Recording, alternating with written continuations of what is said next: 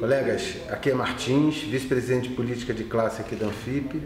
Estou aqui para conclamar, incentivar a participação de todos no encontro da Anfip que vai acontecer de 27 a 29 de, de maio em Aracaju, aquela bela cidade onde a gente vai ter oportunidade de, além de nos encontrar, discutir todos esses problemas que se apresentam para a categoria.